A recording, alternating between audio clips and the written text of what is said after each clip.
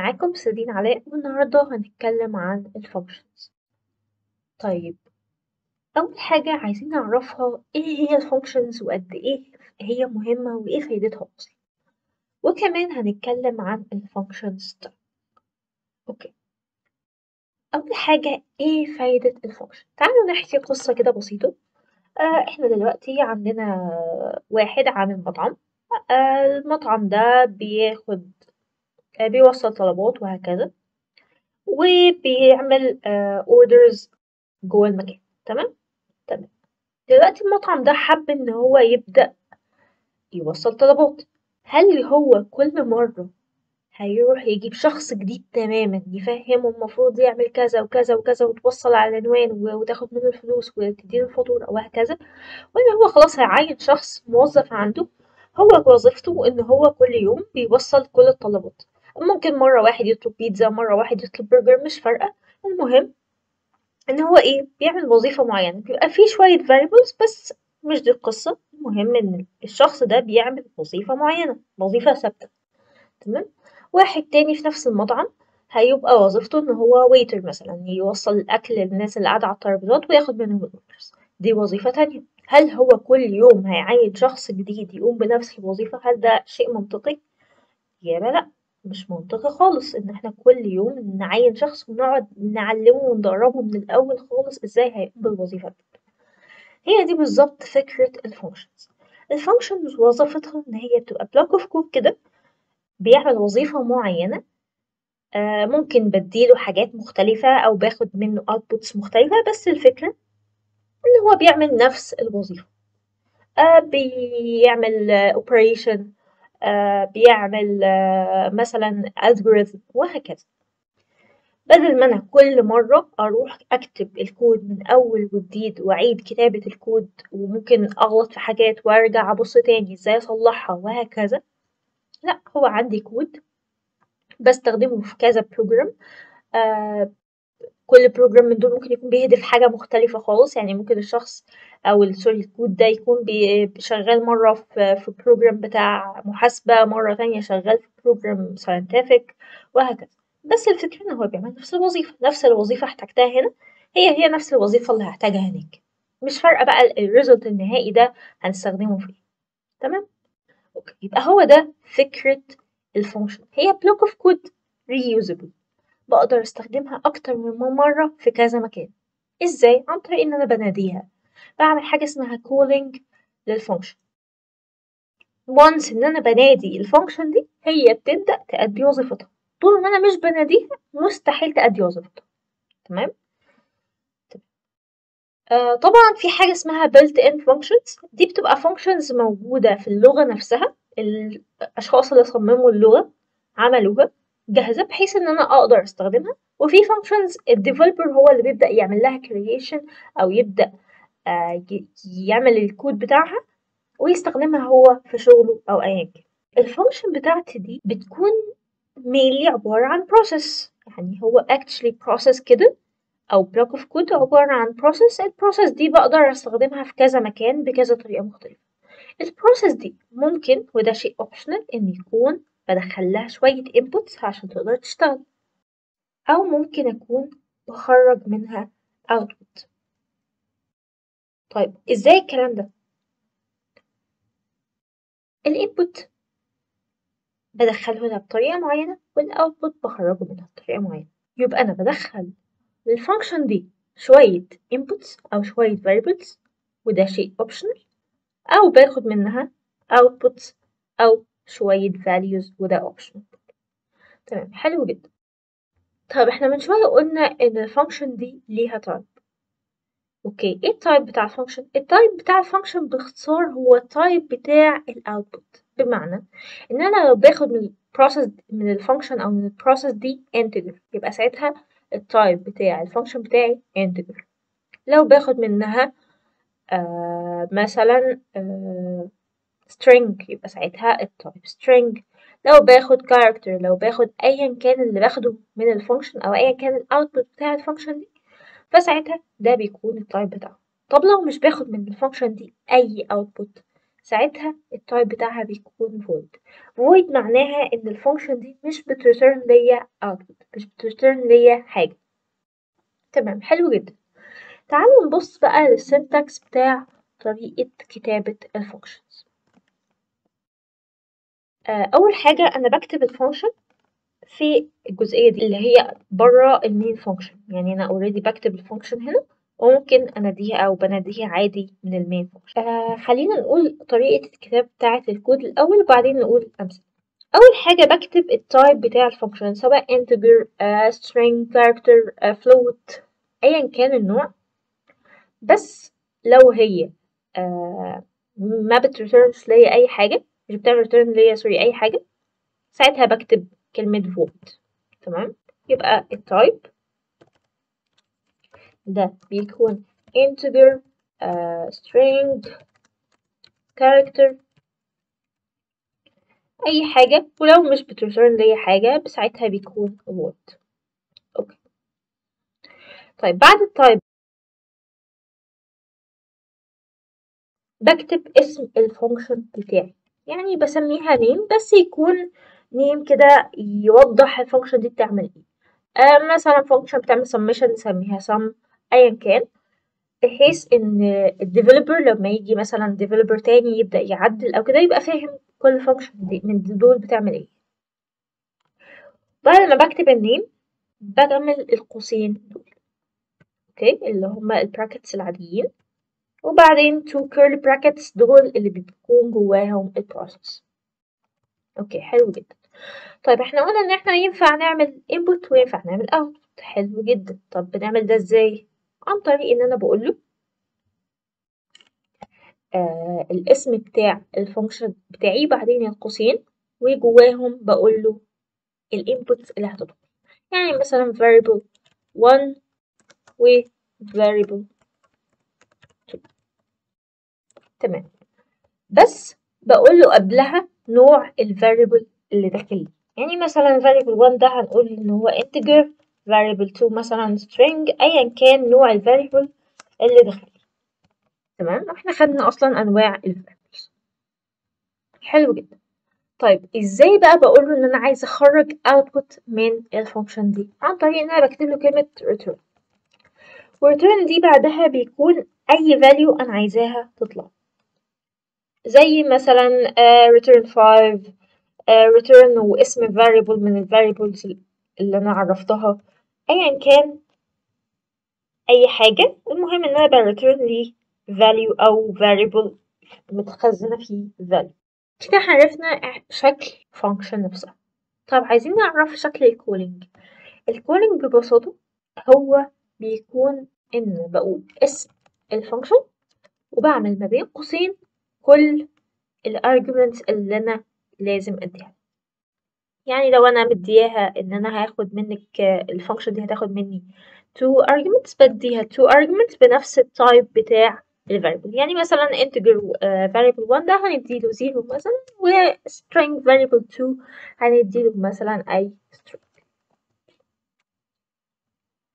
okay يبقى إحنا كده عرفنا إزاي نعمل function وإزاي ندي طب خلينا ناخد شوية مسائل كده نحاول إن إحنا نفكر يعني أو نستفيد أكتر من فكرة ال functions آه مثلا خلينا نقول function بسيطة كده في الأول.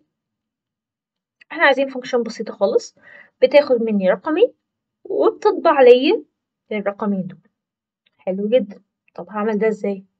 هقول له آه أول حاجة هل ال function دي هت return حاجة ولا لأ؟ وخلينا نسيب لنا النقطة دي شوية وهنعرف بعدين أكتر فايدة ال return طيب خلينا نبتدي ب void ونقول له آه اسم ال function بتاعتي لأن إحنا خلينا في الأول ما نعملش أي return يعني لأي value. تمام؟ خلينا نقول له void واسم ال function بتاعتي sum. وبين أقواس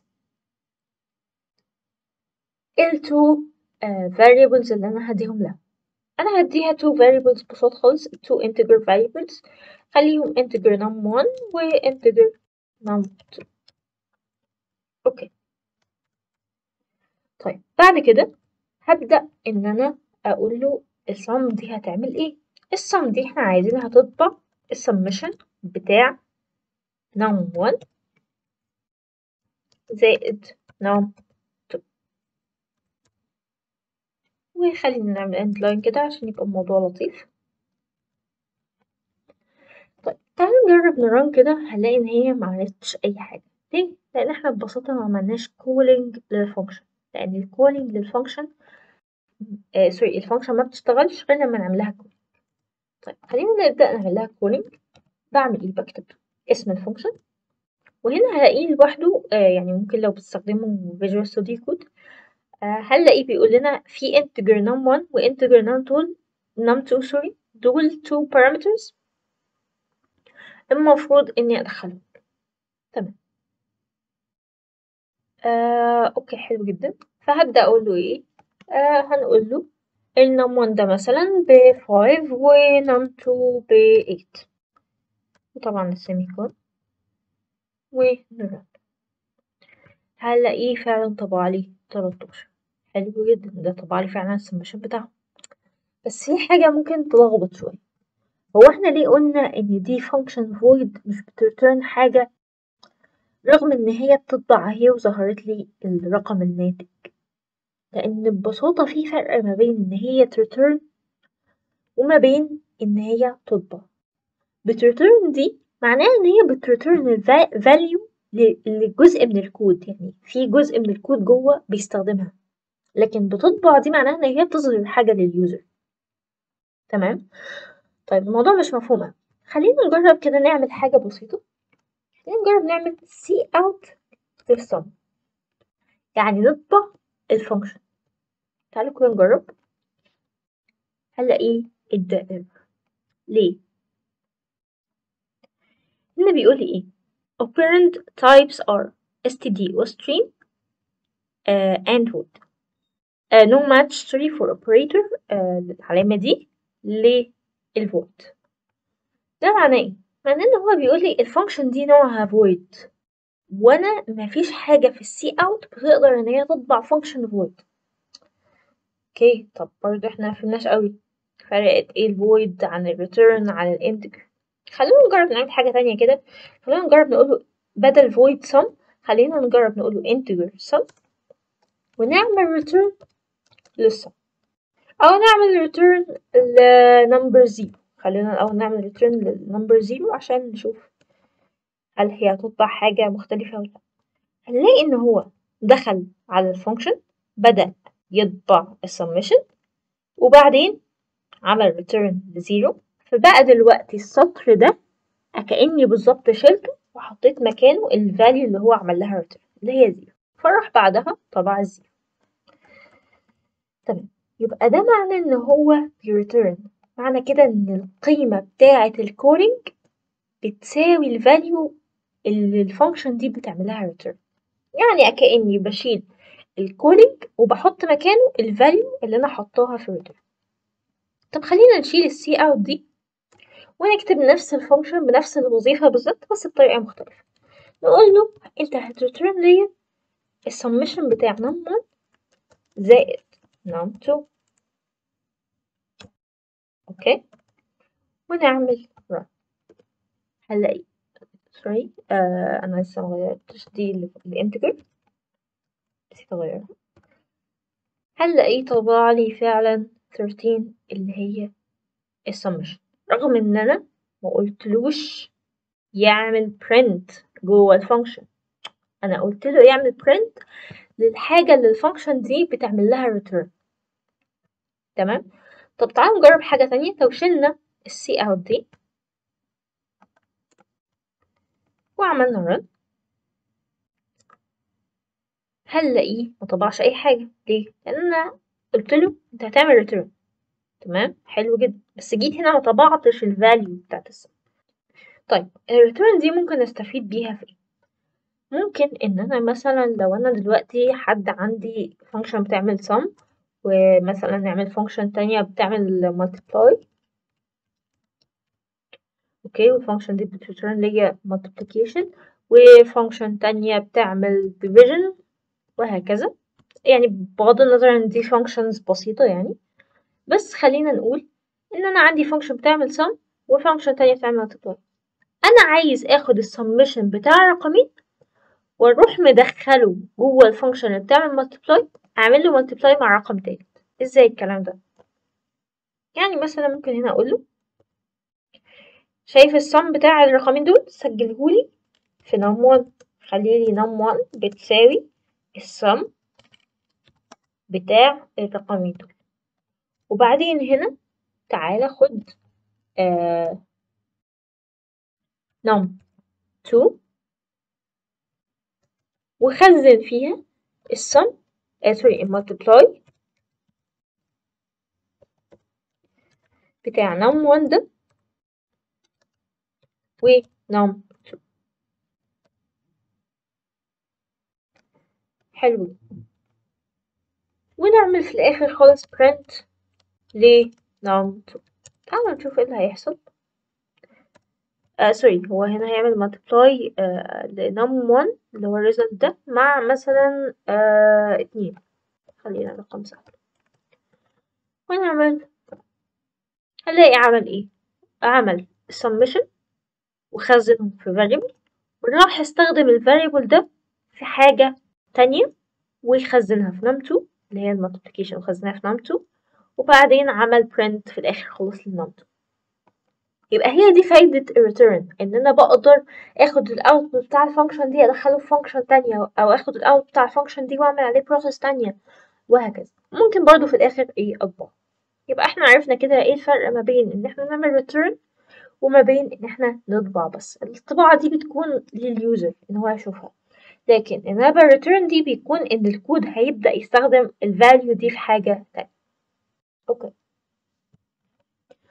طيب إحنا كده عرفنا الفرق ما بين ال types بتاعت ال functions و actually أي function بينفع تستخدم أي نوع من أنواع ال variables الممكنة لأن هي ما هي إلا أصلا ال type بتاع الحاجة اللي بعمل لها return طيب إحنا كده ادينا مثال على ال functions اللي فيها. output وال function اللي ما فيهاش output وادينا مثال على ال function اللي فيها input. طب تعالوا ندي مثال تاني على ال function اللي ما فيهاش input. خلينا مثلا نقول إن أنا دلوقتي عندي uh, function int uh, greeting. وال function دي وظيفتها إن هي تقول hello ل uh, hello world مثلا. okay فبنقول له ال function واسم ال function sorry دي void. مش بترجم لي حاجة. وبتعمل بس print لكلمة hello world. okay ال function دي once إن أنا هناديها في أي مكان في الكود هتعمل لي print للجملة دي. طبعا الجملة دي مثلا ممكن تكون message طويلة تظهر لل user لو عمل حاجة معينة وهكذا. once إن هو مثلا ي click على button تبدأ تظهر له ال message دي أو ايا كان. فال function دي once ان أنا بناديها بتبدأ إن هي تعمل الوظيفة بتاعتها فخلينا كده نجرب نقول greeting ونعمل run. فعلا طبعت لي hello world عايز أستخدمها أكتر من مرة في كذا مكان مختلف. ممكن إن أنا أكررها. وهي هتعمل نفس الوظيفة كده إحنا فهمنا إيه فايدة ال functions وليه إحنا بنستخدمها أصلا. ال functions هي بنستخدمها عشان نختصر أو ن reuse ال code. منقعدش كل مرة نعمل application نقعد نكتب ال code from scratch. لا إحنا already كاتبين جزء جاهز. وبنبدأ إن إحنا نستخدمه. ممكن في programs مختلفة ممكن في نفس ال program أكتر من مرة وهكذا. هيكون إن شاء الله في شوية problems بسيطة عن ال functions شكرا لكم